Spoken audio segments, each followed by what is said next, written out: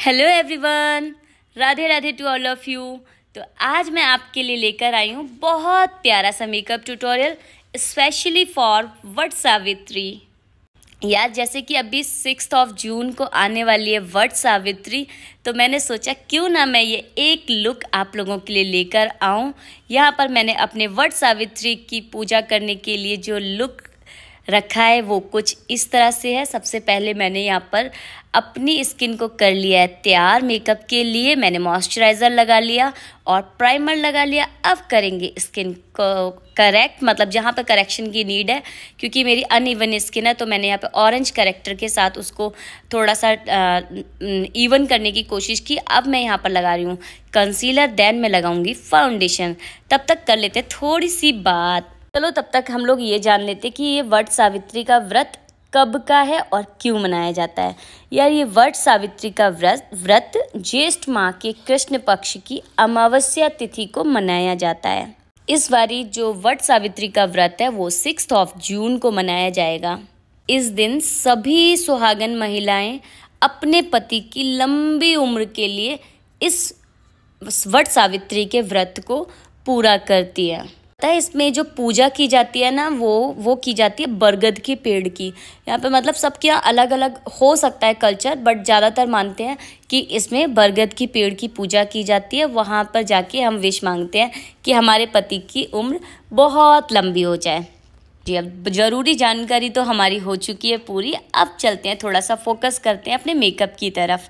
Okay क्योंकि अब लंबी उम्र की बात की जा रही है अपने पति की तो अब पति को खुश रखना भी तो ज़रूरी है ना यार। तो सबसे पहले हो जाओ अच्छे से तैयार और कर लो ब्यूटीफुल सा मेकअप देखो यार जब मैं बातें करना स्टार्ट करती हूँ तो मैं भूल जाती हूँ कि मैं पीछे मेकअप भी कर रही हूँ ताकि उस टॉपिक पे भी बैक आया जाए।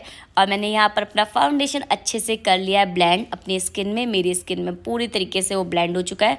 और वो अब अनइवन नहीं लग रहा है।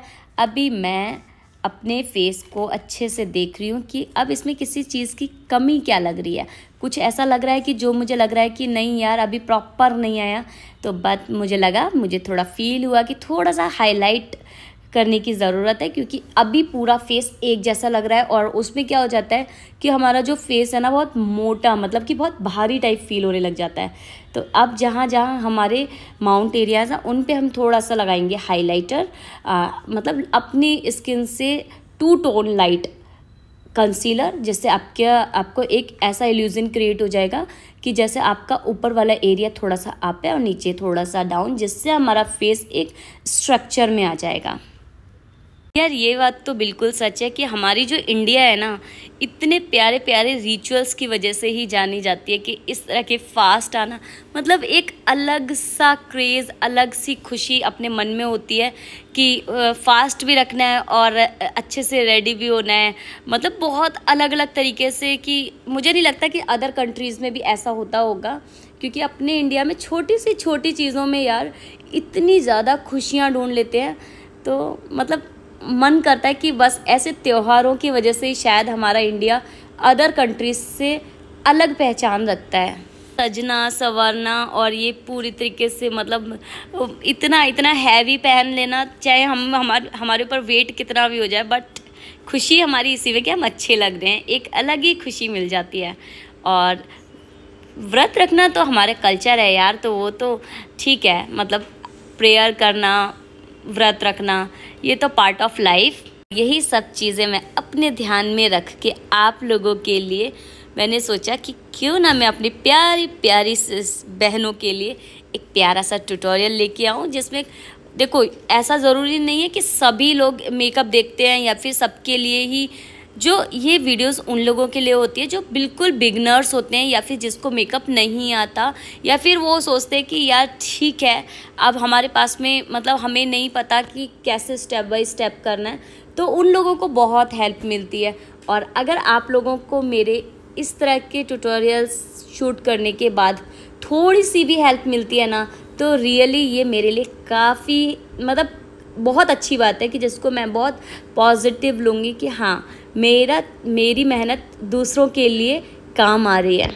आप लोगों की तो तैयारियाँ स्टार्ट हो ही गई होंगी ज़ोरों शोरों से वट सावित्री के लिए। एक अलग एक्साइटमेंट होती है ना यार कि न्यू साड़ी न्यू ड्रेसेस और प्यारा सा मेकअप करना है सुबह से लेके शाम तक मतलब एक फास्ट रखना है।